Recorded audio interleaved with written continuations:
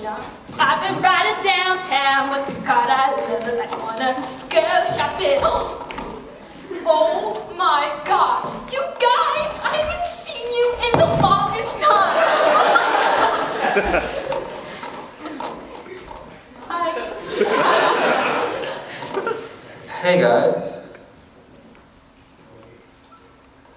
I'm gonna go now. Yeah, I gotta go too. Shopping again? That's so typical of you. Okay, what do you mean that's so typical of me? Don't pretend like you don't have a shopping problem. I don't know what you're talking about. Anyways, where do you think you're going with that? Jimmy's. Why? He broke up with me. With me, I'm going to go to his house. He deserves it. If anyone asks, I broke up with him.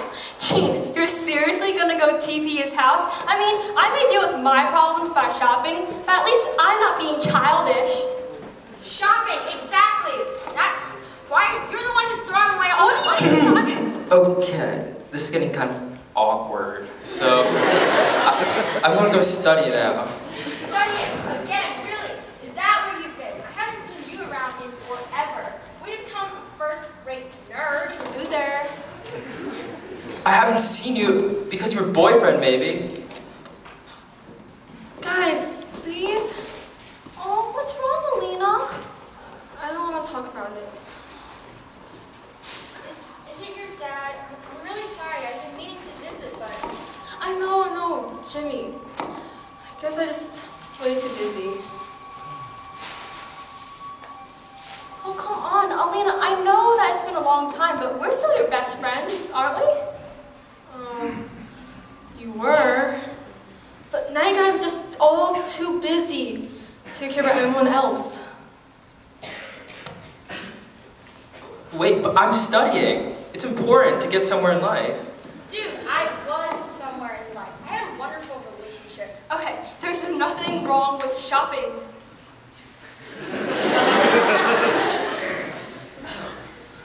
Anyways, come on, just tell us what's wrong. It's my brother. I don't know. It's been really stressful, and ever since my dad got sick, it feels like our family's been falling apart. Uh, I know we should be closer, but it's just really hard.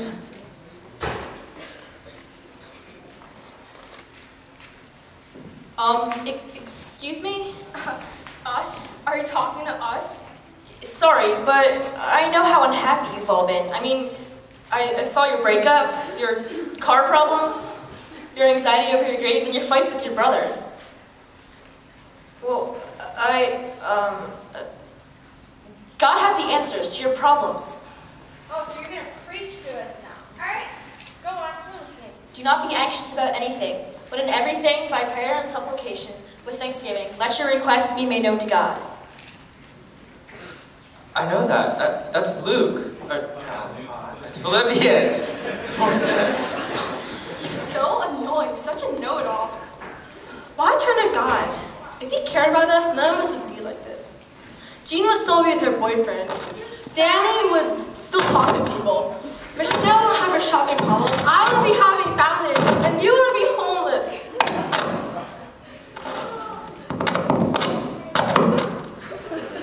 You know, God's all powerful and He knows what is best for us. He puts us in these situations that might be tough, they might be painful, but you know that in the end, you come out as a stronger person. And He does all this for a purpose. God, God also loves us, even though we don't even deserve His love. You know, we're sinners, but it's crazy that an amazing Father like Him would ever care about us, but He does. For the Son of Man came to seek and save the lost. That's Luke 1910. I, I think I'm beginning to get it a little. I mean, God has the answers. He is the answer. Right? I- I'm starting to get it now. I- I've been studying all my life when I should have been building my relationship with God. Well, I guess since we're all sharing our confessions, I mean, I've been trying to shop away my problems, I guess, but I've just been digging myself a deeper hole. I really need God's help to stop living in such a materialistic world. I was really self-centered too. I mean, my relationship with Jimmy was pretty much all about me. I forgot that our relationships are supposed to be for God. Me too. I saw my world falling apart, and I doubted him. I didn't see the ways he wanted me to go stronger, the ways he wanted me to serve my brother and my father. And God's still there for you if you want to accept Him as your personal Savior. We're forgiven and free. Because Jesus died on the cross for us, He shed His blood and God forgave our sins. And He freed us from our problems, from the sin that was keeping us from eternity with Him. And, you know, God has a plan for everyone, every single one of you guys out here. And you know, it might not seem like it. You might wonder sometimes, where's God in my life? But you know that He's still with you. And we don't need to worry about what's going to happen because God knows exactly what is going to happen. And you know, I've been out here for quite a while, but it's taken me a while to realize that the thing I need most isn't really a car or money or a house, but it's His Word here.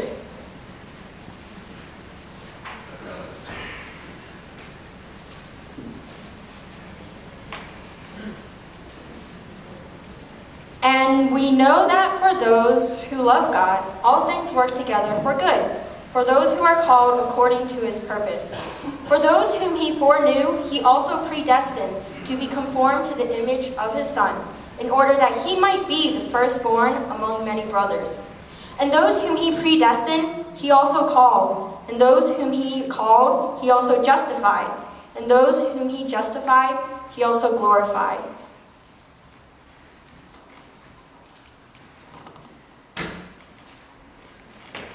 What then shall we say to these things? If God is for us, who can be against us? He who did not spare his own son, but gave him up for us all, how will he not also with him graciously give us all things? Who shall bring any charge against God's elect? It is God who justifies.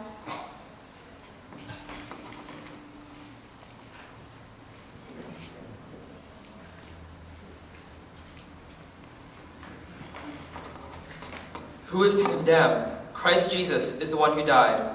More than that, who is raised, who is at the right hand of God, who indeed is interceding for us. Who shall separate us from the love of Christ? Shall tribulation, or distress, or persecution, or famine, or nakedness, or danger, or sword?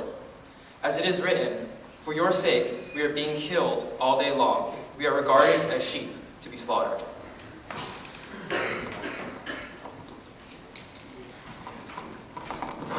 No. In all these things we are more than conquerors through him who loved us.